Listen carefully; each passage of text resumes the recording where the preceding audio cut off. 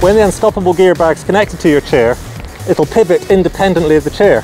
So I can go up and down slopes like this one without any problem.